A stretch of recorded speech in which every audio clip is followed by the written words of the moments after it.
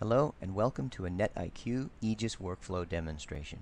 My name is David Neufeld, Senior Consultant NetIQ Professional Services. And in this presentation we'd like to look at working with SQL data and user input forms, handy ways to process SQL data and return data back to SQL. The overview of what we'll present here is the key activities that will be used in the workflow, the scenario and use case context for the demonstration so you understand what this data is a little bit. Then we're going to move into the operations console, the web interface for Aegis, to look at uh, views and how input form prompts work, especially in new, newer version 3.2, which is quite different from the previous interface. We're going to run the workflow, generate a work item, and look at the flow of operations so we see an end user's perspective first on the workflow. We'll look at some of the activity outputs and also the supporting analysis which allows us to look at some of the table data that gets generated in the course of SQL activities. We'll then switch to the configuration console, look at creating some global settings which are uh, global parameters that can be used in Input Builder inside the workflow. And then in the Workflow Designer we're going to look at the workflow itself deconstruct some of the key activities that have been used to process the data, look at how those are configured. We'll look at the user input forms.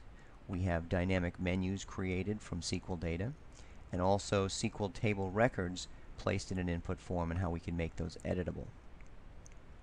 SQL query execution, we want to look at the SQL activities themselves for either just querying data records or making updates to tables as well as executing a stored procedure one of the ways to process SQL table records is to loop through and process each record. So we'll look at the loop that we use for that, a for each loop. And also look at the supporting analysis configuration on the backside in the workflow.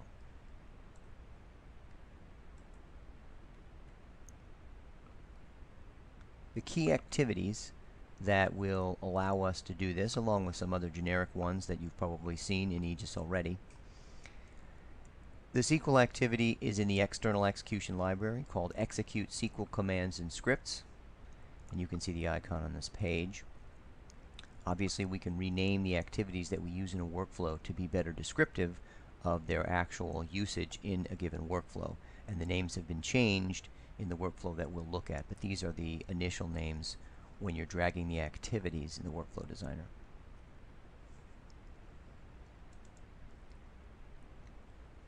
Next activity we'll see in the email and user interaction library is the collect input from user. This is your standard input form activity.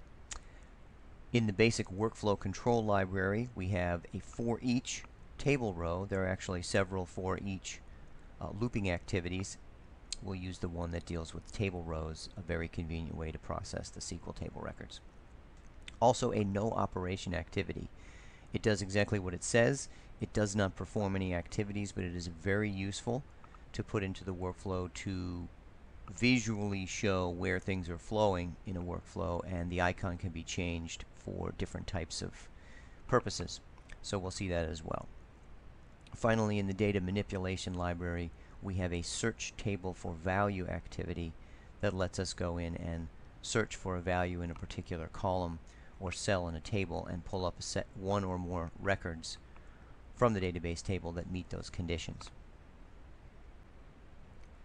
The scenario and use case in this demonstration involves a database with customer configuration and setup information stored in a table of change request records. The change request process involves querying for pending change requests, then performing operations based on the type and of request and the data that's in each record. Administrators must be able to choose which changes to process for a selected customer. So the user input forms will be available for making those choices before proceeding. Some error handling and data validation will occur. And the final results must be available for audit or reference. And that's where supporting analysis will come in. Now let's move to the web console the operations console in Aegis 3.2, take a quick look at the interface, and then proceed to start a work item for this workflow. we have a nice interface in 3.2 that allows us to manipulate the screen and show more data in different sections than we used to be able to before. Down under my testing folder of processes on the left, I have the work item in particular that we're going to run. And it shows work items that have been run in whatever state that they're in. I can collapse and expand this to see more of the columns of information. Let me go ahead and start this work item and show you a little bit about the input forms as well since the prompts for those uh, come up in a couple of different places. There are now handy green arrow buttons to let you to start a process uh, from the screen. I'll do this for our SQL query workflow demonstration. Click the button yes to start a work item. I now have a work item tab that comes up and it starts with general attributes for the work item. I can see that it's in a running state. I can also see that up here at the top. And it has paused at the first input form. I can see that I have a submit input form button here up in the sort of status bar up at the top along with the ability to terminate or start another process. And at the bottom of the general attributes there's also a line for number of activities waiting for input. So if there's a form ready, you also have the button down here. Let me click on this so we can jump in and see what the first user input form is.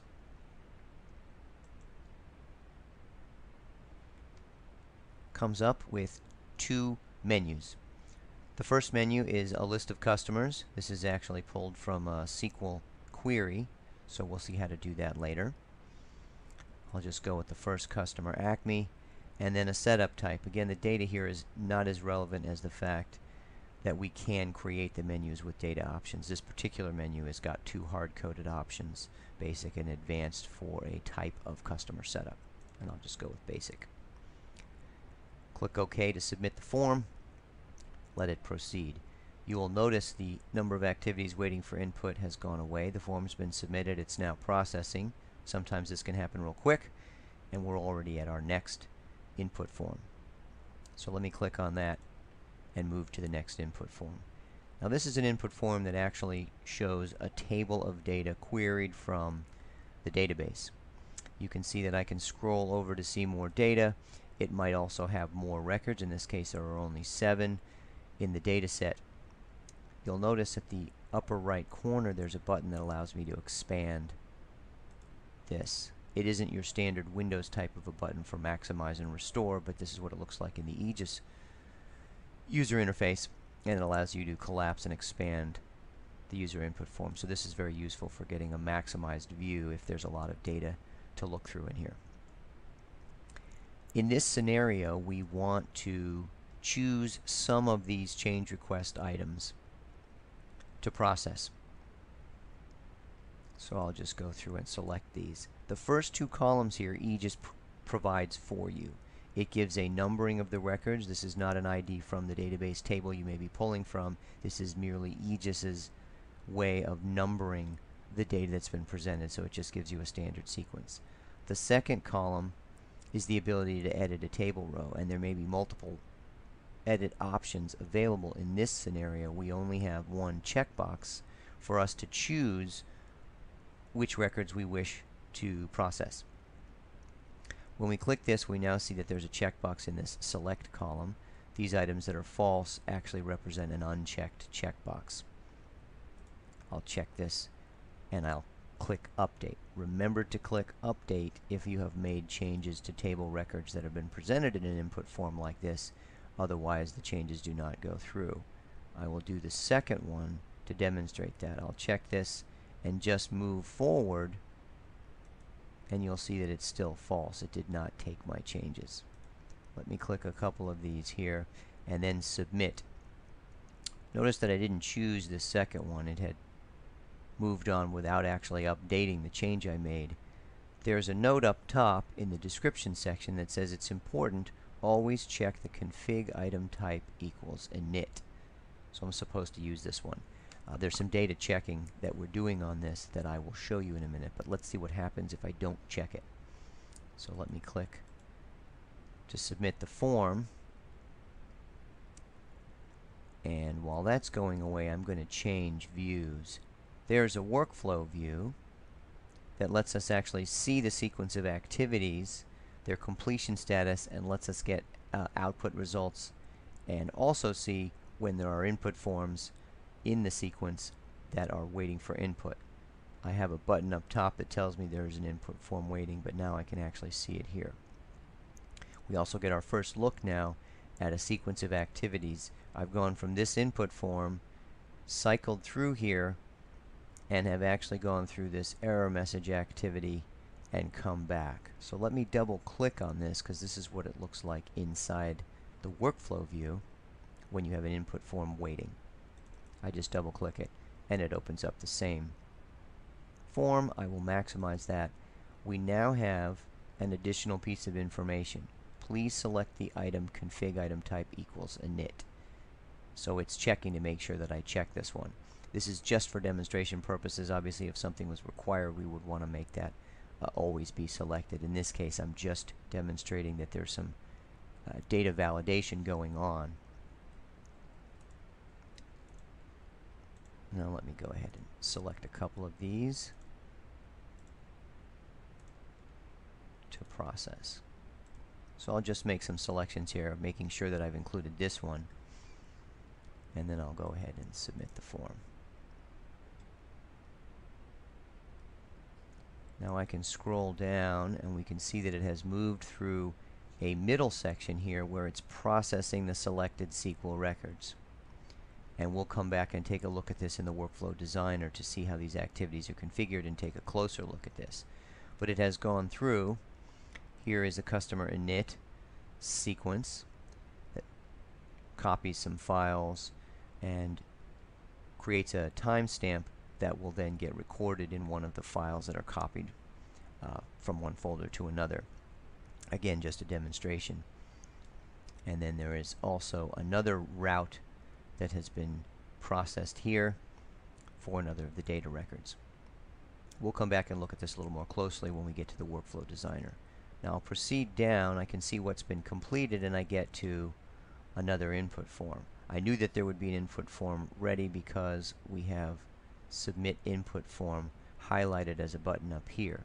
You will notice it is not highlighted above the workflow view because this particular button depends on the selection that we have inside the workflow view. So if I click on the activity here, now it highlights this button here. This is always available up at the top. This one becomes highlighted when I click on the actual activity. Now this particular one is just a final confirmation. You can see here that I've more specifically shown where errors might have occurred in the processing. In this case it says no errors. So clearly we have an error section. Uh, the description section of an input form can be used to display error information if users have not made correct choices or they need to see an error before making an additional choice in a workflow depending on the complexity of the logic you're using. In this case this is just a confirmation we don't have any errors and it's telling me to click OK to complete this so let me do that. Alright, now that this is complete, let's look at one more thing in the Web Operations Console, the Supporting Analysis tab. So above the set of views here we have Supporting Analysis on the end. Supporting Analysis is a place where we can display data that has been output in table form and this comes from a variety of activities that output tables. Not all activities that output tables automatically can go to supporting analysis. We can use other activities to generate it if we need to. But the SQL activities allow us to send data straight to supporting analysis and we'll look at later at the backend configuration for that.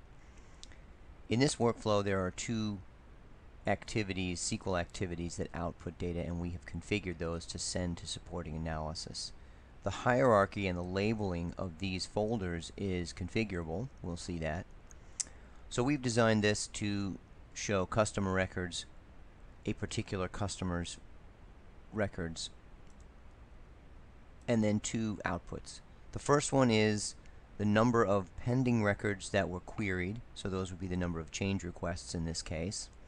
And if I click on that, it will show me the records that were output. This is the same data from which we were able to create the data in the input form that the user made selections in. Let me go ahead and collapse this section so I can expand and see this data more. You can see the records here. Again, the individual data fields is not that relevant. We have the customer's name, we have a status, so these were all open requests.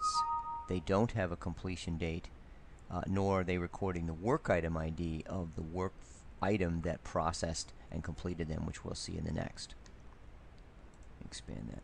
So in the processed, three of seven were selected by the user, and we have those three records here. They now have a status of complete, a completion date recorded, and the work item ID which is the current work item, that completed the processing.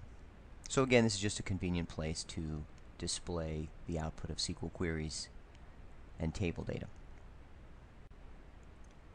Now let's take a quick look at the configuration console and I only want to show one feature in here.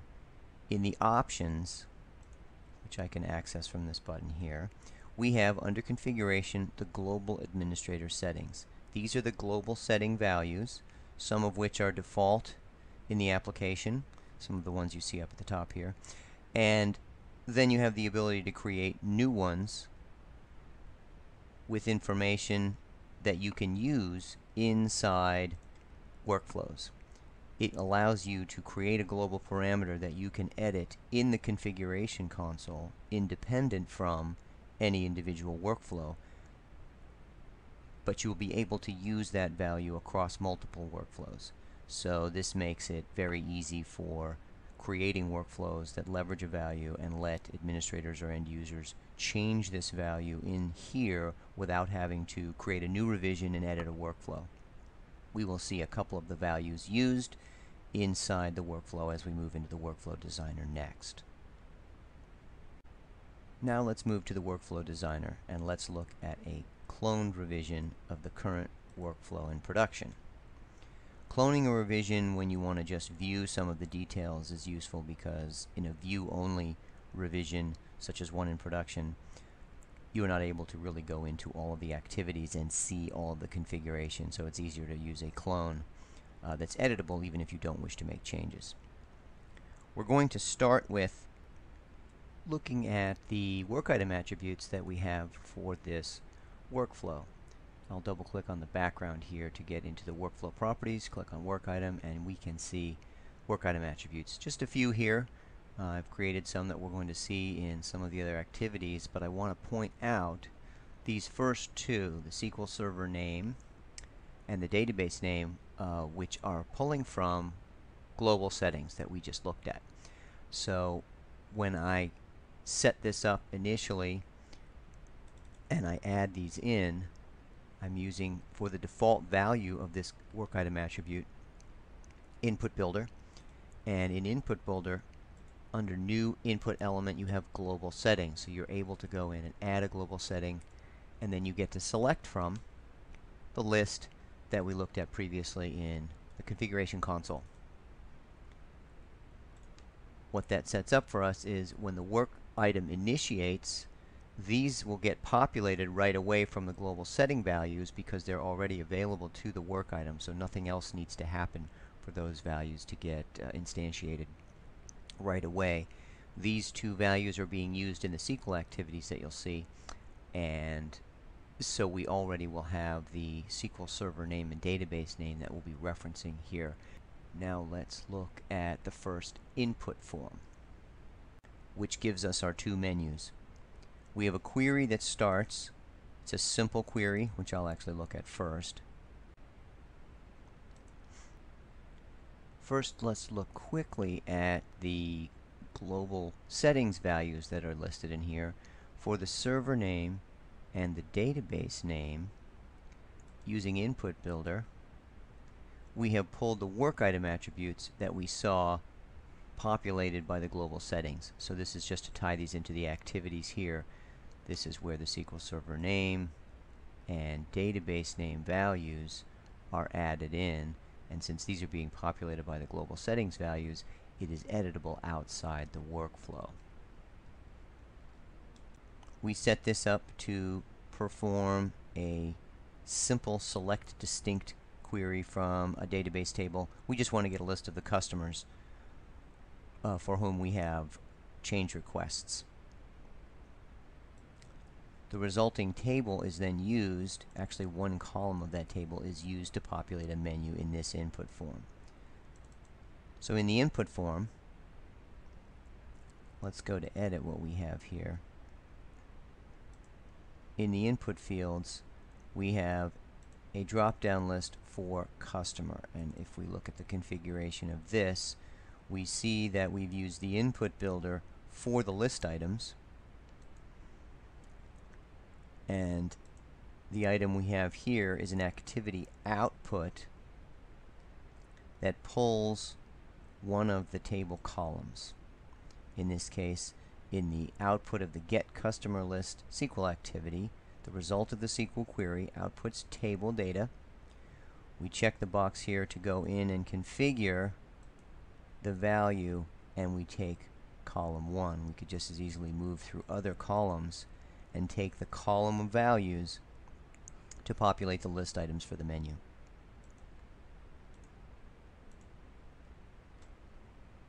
I'll actually redo that from scratch. So if I was to configure this, I would check the box use input builder. Actually, it's already got it in there. Let's add it again. New input element, activity output parameter. We scroll down. We have get customer list. Result of SQL query. There's the table we want, not the output parameters, the actual results. That's the data set. We check a box so that we can configure an individual column. In this case, we only want the one column that's output, so the default is column 1. That's really all that's required. The other drop-down list menu is hard-coded where we manually add items here. Remember when you are adding values to a menu, if you add them manually, you have the ability to give it a label name. This is what it will appear in the menu for the user, and a value that you want returned uh, when the when the form is submitted.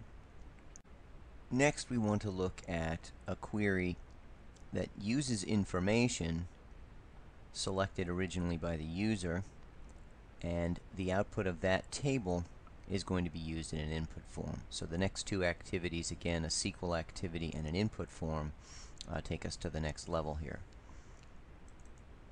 In the Get Customer Records activity,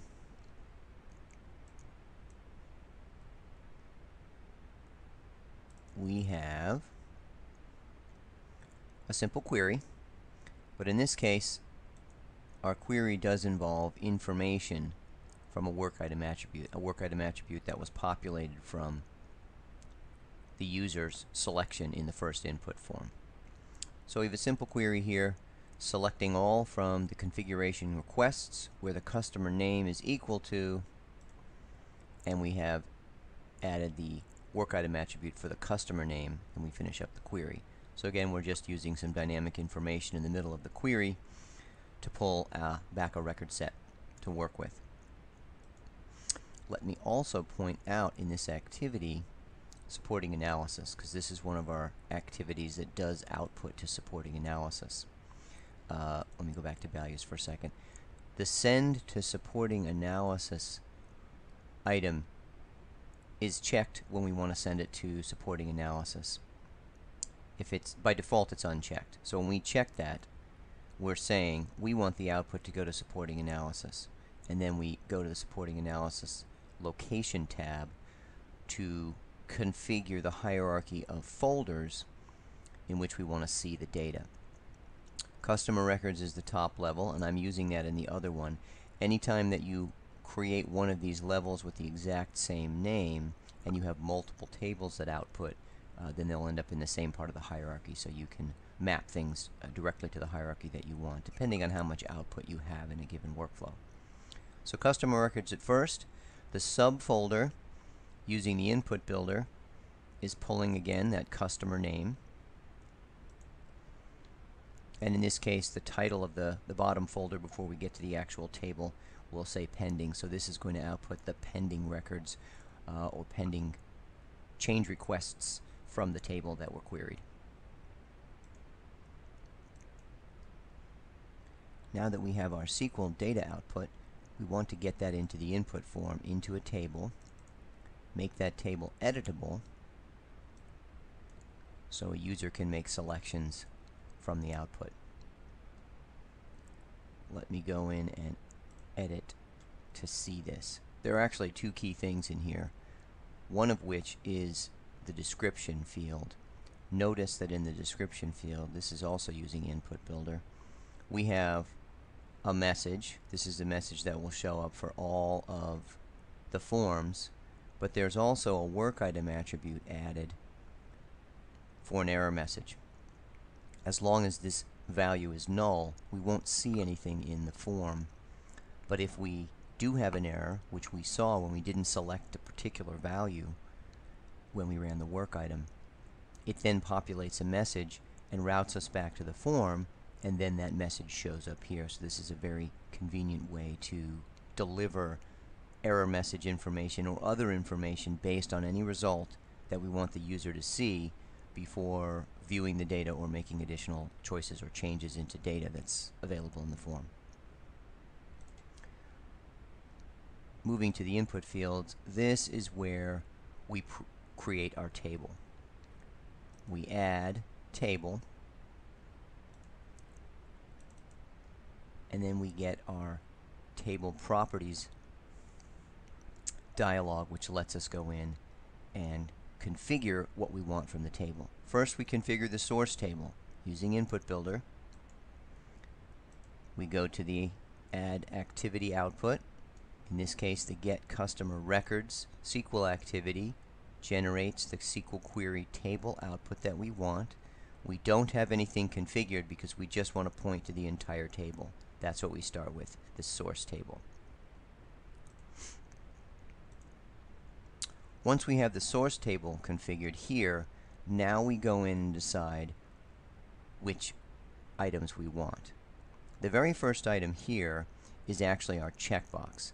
This is what makes this editable, or at least in this case, we have one editable column, and it's the checkbox. So we've added this as we would add a checkbox uh, on any kind of an input form, but because we're adding it as part of a set of table columns, it will end up being a checkbox for each row that's returned.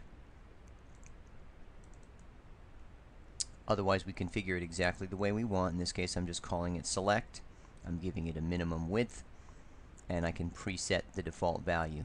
If I normally want all values to be checked, then I would set the default value to true and that way the table that's populated for the user will all have records selected as true and chosen for processing but the user would have the option to uncheck or exclude records. In this case we're not pre-selecting any of them and the user will choose the ones that they want but it could go either way.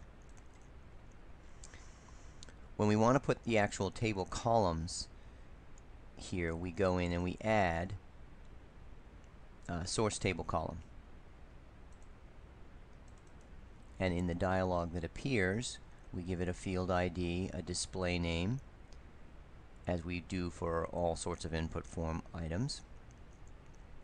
We have the ability to identify the column by its index, so if we know column 1, 2, 3, 4, etc., we can just go by index, or we can go by column name. So if we are pretty familiar with the descriptive names for the columns, we can put that here. Then we have some additional options which I am not using in this case. But this will pull in the config item type column into the table that's displayed for the user. Same thing for each of these other columns. I don't have to pull all of the columns from the table. I can also identify some columns by their index number or by their name. You can mix and match. As long as they're all correctly identified, I can then move them up or down to sort the order of columns displayed for the user. So I've chosen four columns from the returned data set and I've added this checkbox in the beginning so the user will have the ability to edit. Any one of these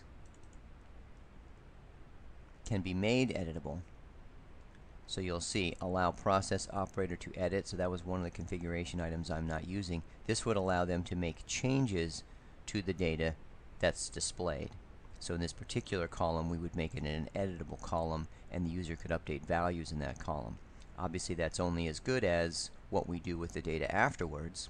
It doesn't automatically update a database. We now have an output set of data once they submit the form, but we have to go and do something with that data. That is not being done in this particular demonstration.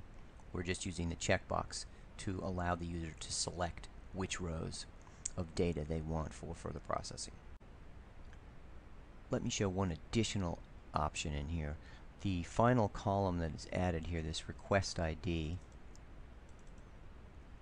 is using one of the other options. You can see that this one is identified by its column index. It's actually the first column that's presented in the data set. I'm using it as the last column here, but I am identifying it by column 1 from the original data. The key thing here is this checkbox, hide in the operations console. So this means it's going to be hidden. The user will not see this column, but it will be in the data that's output the user doesn't really need to see the record IDs that we are going to use but we'll want that request ID so that we can go back to the table to update the data. So that's a very important way to get table output uh, in front of users. It may just be for them to confirm, but in this case we can also make it editable, which we've done here. We've looked at the input form presenting the table to the user they will have submitted a form with one or more records selected and we need to get the selected records. We use an activity called search table for value which I've renamed here to get user selected rows to be more descriptive. To configure this activity we have a table input we point to the output of our form so in this case we use activity output the select configuration items to process is the activity that has the user form. And the customer records table is the table that's configured for the user and it will now be the output table. So it will have all of the records output but with any data changes that were made. In this case only the checkbox was the editable column so it will now have true or false depending on the user's selections. So we point to the table as our source. We then select which column we want to use to search for data values. We're going to return rows for which the data values are a certain value. Notice that it sets to 0 and the description tells you that first column equals 0. So in this particular activity it's using array index numbering so that the first column actually starts with 0 and that's confusing. Most of the activities when they're dealing with table columns start at 1 so column 1 is 1 but in this case it's 0 it does tell you that but but watch for that. We want to return all rows. We have the all rows or first row option and then the cell value from column 0 the first column we want to be true so a checked box is a boolean value that's either true or false. Uh, well, checked box is true. Lowercase, true. The output from this activity will return a table. In this case, it will return a table of records for which the first column is true or checked. Now what we're going to do is make sure. Here is where we have a little bit of data validation we are doing the same thing from this output here. We're making sure that of the selected records, there is one for which the setup type is init, or the config type is init. So we had left a note for the user in the form saying that they needed to select that one. We are now checking to make sure that that's the case. So we have another of the same activities This one is the get user selected rows result, which is a table. In this case, it's not the first column, but the second column. So using a 1 here, so 0, 1 for the second column. We want the first row, or in this case any row, in which uh, we find init. So we want to make sure that they did check that init data record for processing.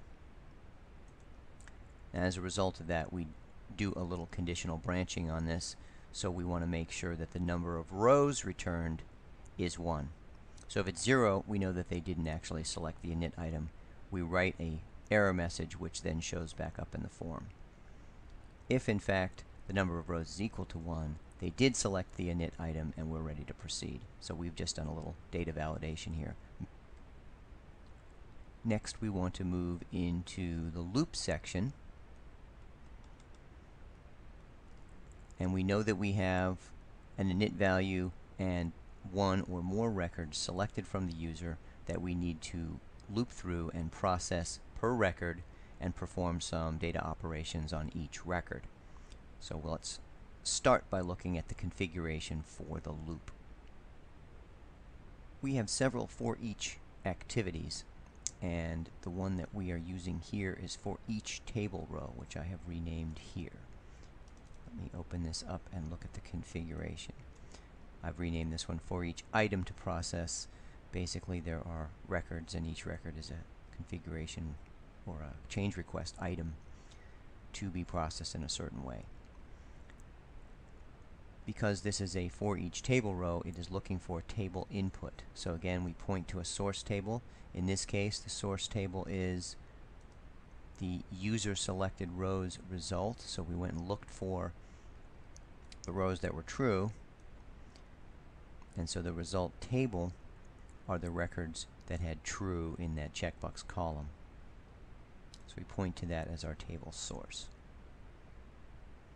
There really isn't that much to configure in this. We point to the table source. It will now loop through each of those records and the output of this activity you can go look at activity parameters and you can see what the outputs are.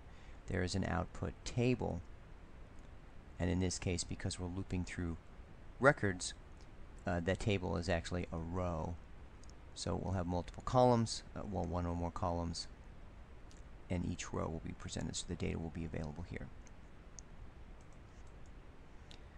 So as we go through now, each of these loop iterations is going to present to us a table row.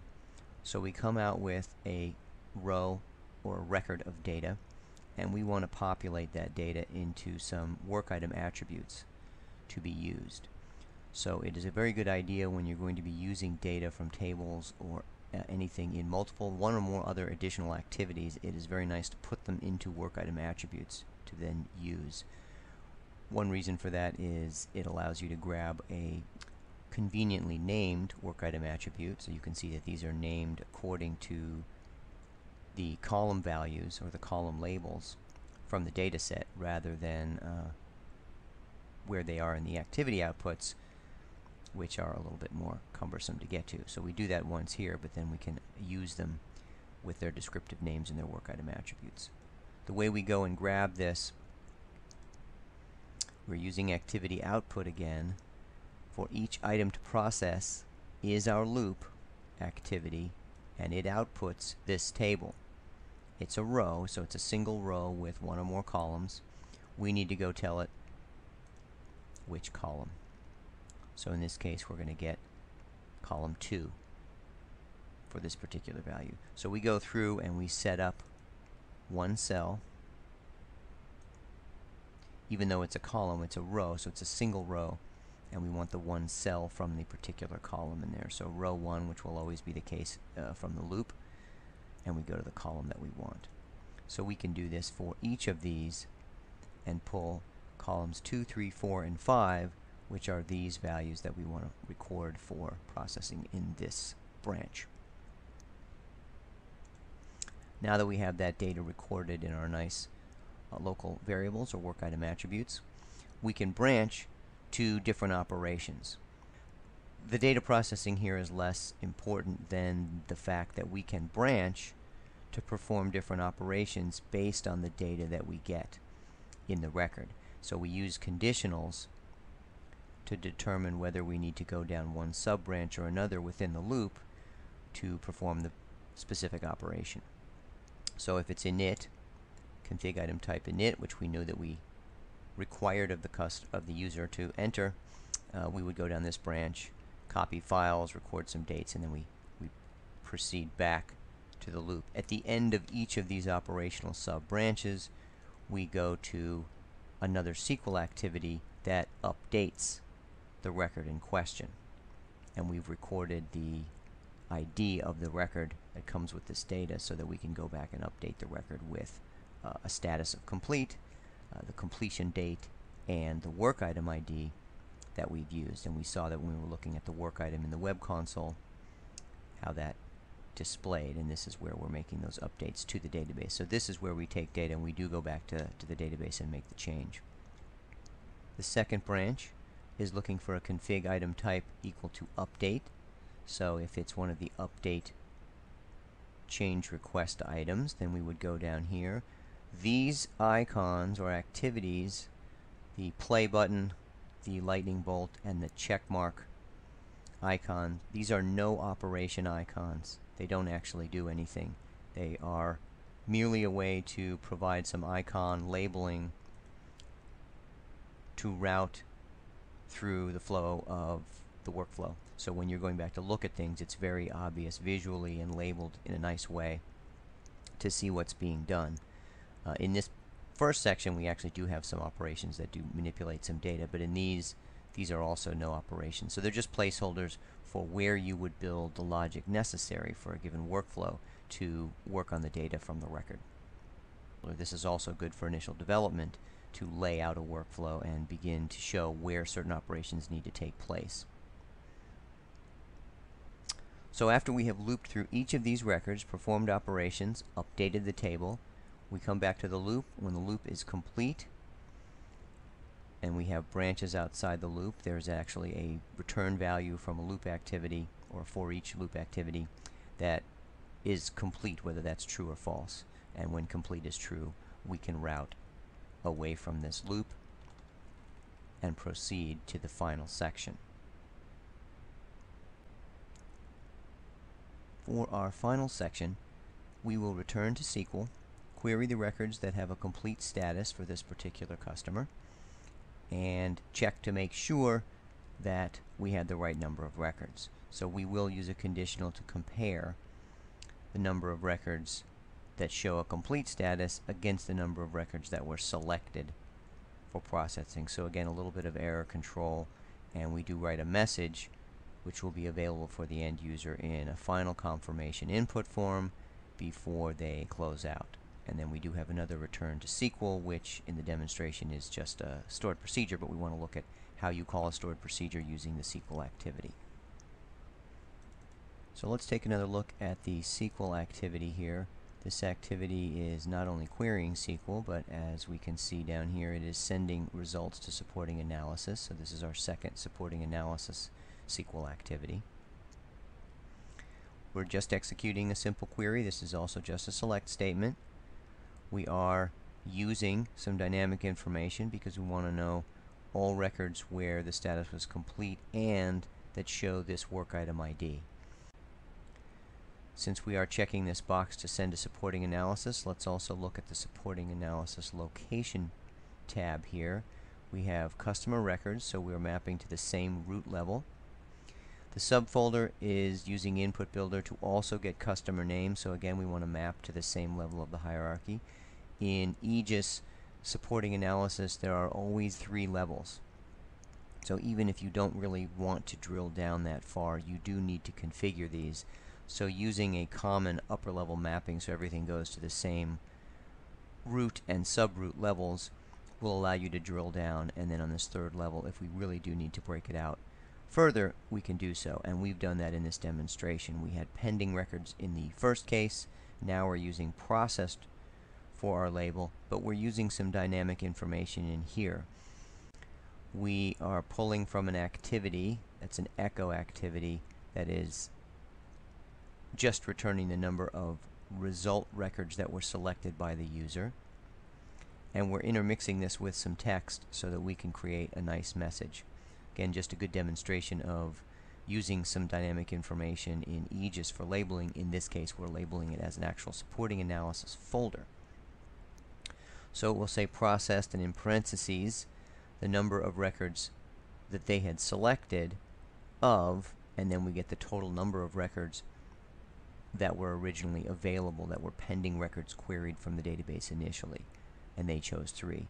So when we see the three of seven selected in the labeling, the user will get an indication that if three of seven were selected and only two records show up in the table, then they know that there was one missed, and they'll be able to look at both the starting and the finish and, and be able to see which data was missing. But we also write an error message because we check for that and make sure that the number of rows is the same here. The input form at the end is very straightforward. We're using the description field. We are this time putting in a very obvious errors section labeling here and then we have this error message work item attribute. The default value is no errors rather than being null.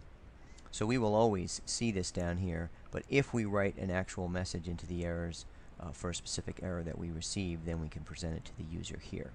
The final section, after they've confirmed that everything's okay, is to call the stored procedure. Now in an actual use case scenario, there may be a need to call stored procedures within these looping branch operations or multiple times throughout the course of the workflow.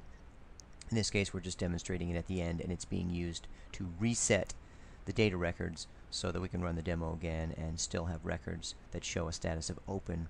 Let's take a closer look at this activity. It's the same execute SQL command activity, but in this case, we are using the execute stored procedure operation rather than the execute query. Execute stored procedure has some specific syntax we want to point out here.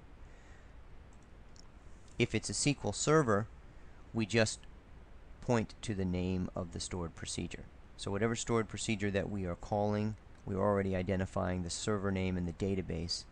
Uh, we just identify the stored procedure name here the values, if it's a stored procedure that is taking parameter values, we do a comma separated list of values here. If you have a string value, so in this case we're passing it the customer name and the work item ID so it can update the records for this customer with the completion status and date and also populate the work item ID and the stored procedure takes care of the rest of the SQL on the back end on the database.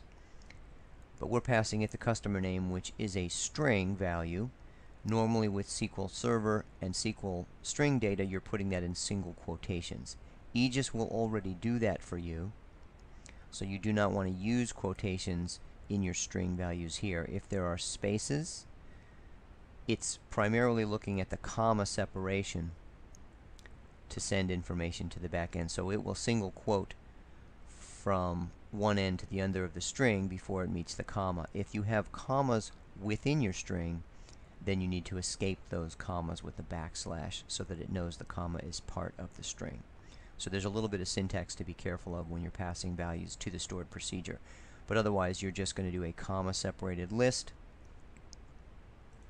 and you'll configure the value with those parameter values. The stored procedure name will go here.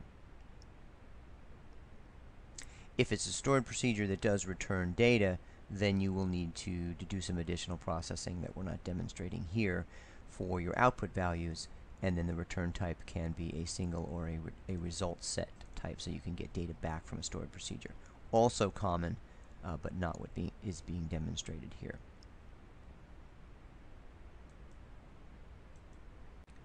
The last activity before the end is a simple command to delete the setup files that were copied into the customer folder. Again, we're taking care of the file changes, whereas the stored procedure is taking care of the data record changes. So we reset back to the start point for the demonstration, and then the workflow ends.